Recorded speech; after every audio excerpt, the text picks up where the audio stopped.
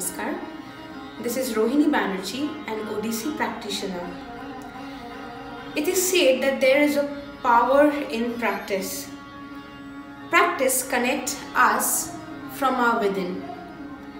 It unfolds innumerable possibilities we have about which we are not aware of.